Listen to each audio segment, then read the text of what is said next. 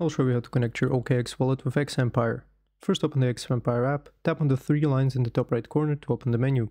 Here select airdrop. If a wallet is already connected, disconnect it to start fresh. Swipe right to see more wallets and tap on the OKX wallet. This will redirect you to the OKX wallet app. Wait for it to load, then tap connect when prompted. Thanks for watching. If this video was helpful, please like and subscribe to our channel for more tips and tutorials. See you next time.